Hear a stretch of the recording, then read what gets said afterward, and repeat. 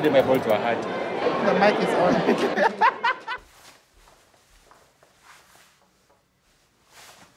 I really wanted to test the Aputure 300D, but as Kaffebrus didn't have it, I wanted to get my hands on the 120D. I've used both of these for some time now, both for the vlog and commercial projects. In the end, I've decided to buy the 120D, but here are my thoughts on both products. Okay.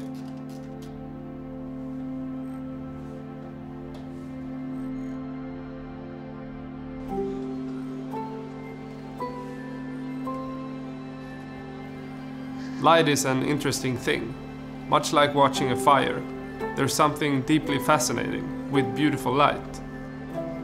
It could be sunlight shining through a window, or just fire. That's a light in itself.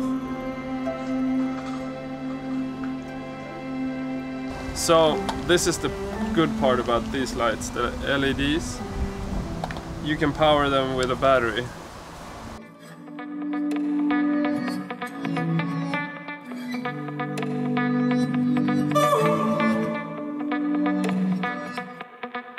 Aputure wins hands down. It's a really awesome product that has really solid build quality and much more features.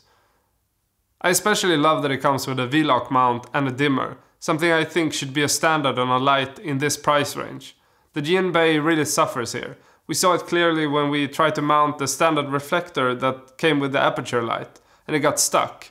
That's not the type of light I'm gonna recommend.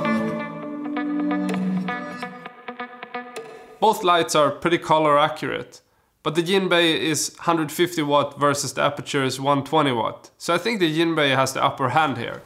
But I did use both lights to try to light a scene in a car, as it would be sunlight coming through a window. Both worked really well for that. But then I could get up close.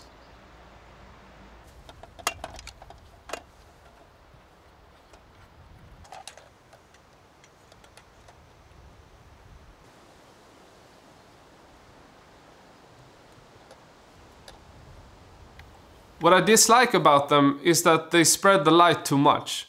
I'm eager to try the Fresnel adapter from Aputure to fix this, to get it more focused. But for now, it's a bit all over the place. What you do get in this price range that you don't get in a cheaper one is acceptable quality on all fronts. Often build quality and light quality suffers on cheaper lights. Here I tried to see if the light could imitate sunlight coming through a light curtain to break up the light. It worked fine with the Jinbei. I used this technique on a commercial shoot too. I felt it was a bit weak then, but because it competed with the daylight outside. So for this I think I would have loved to have the Aputure 300D. Cheap lights usually have fan noise. Both of these have some noise, but I don't think any of them will ruin a shoot. Given that the Aputure can be used with a silent mode where it really isn't detectable, this one goes to Aputure. Ser knappt på displayen, men jag tror det.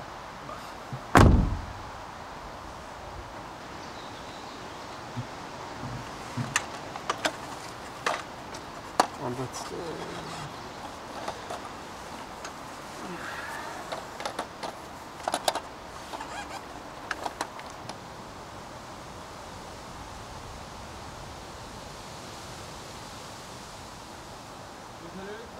Det ser bra ut nu.